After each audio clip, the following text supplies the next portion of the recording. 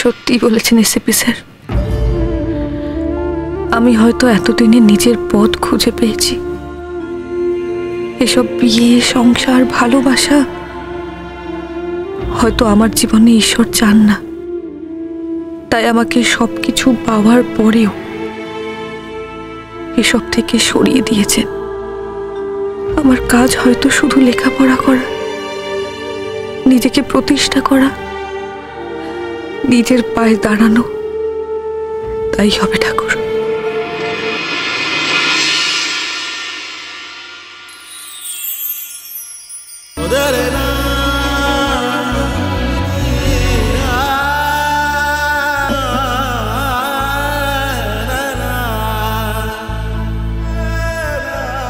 Sir.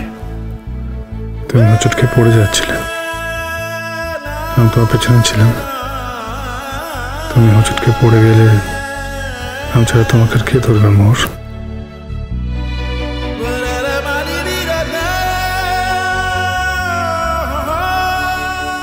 মোহর কি এবার বুঝতে পারবে কি সে নিজেই বিয়ের কোণে?